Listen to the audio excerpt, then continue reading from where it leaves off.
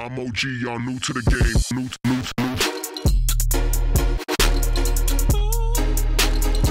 new. Hey guys, Steven from Texas Rigs and Jigs here. I'm uh, going to do an install video on the bow light from uh, Blue Water LEDs.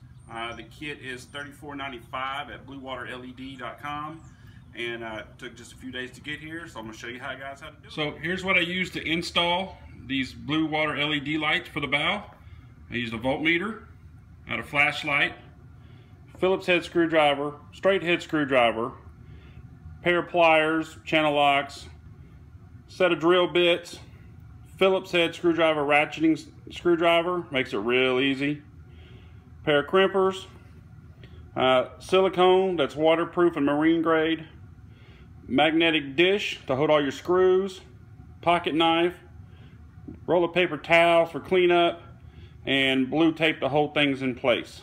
All right, so what you're gonna do first is you're gonna remove the screws from this here. I put them in a magnetic bowl so I don't lose them. Uh, and then you can remove this. All right, so now what I did was I used some blue tape and I measured it here, which is where the end of this plastic piece is.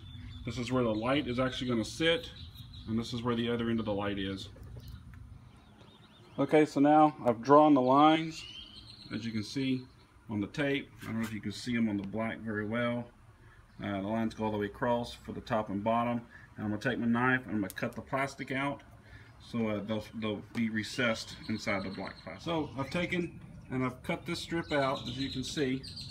So my light will sit inside this rubber right here and then I'm going to actually wire it into the existing pole. Um, there's three pins if you see down in here.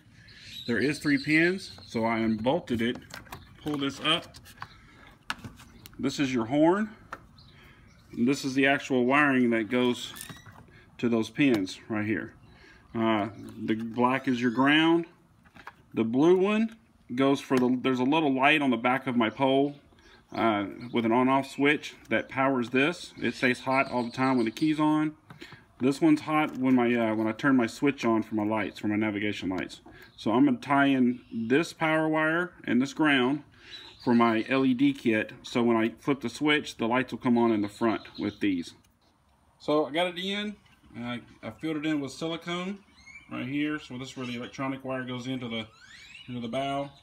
Um, silicone line behind it. I did a couple layers.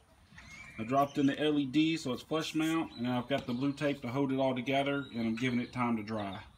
So it really wasn't that hard to do. I think it took me 30 minutes to do the whole thing on just on this side just trying to figure out how I'm going to wire it up and everything. So I got it, the wires, got this panel off, got the wires pulled through. I actually pulled them up here to the top. They are plugged in. This is the horn. Uh, I plugged it in, like I said, to the harness that, that does these pins right here. I fired them up, and guess what? There they are. There's the green, and there's the red It's pretty bright. I'm pretty happy. Installation was not bad at all. Uh, as you see, you walk through the video. This is done actually on a 2014 Bass Tracker Pro 175 TF. So it was it was really simple.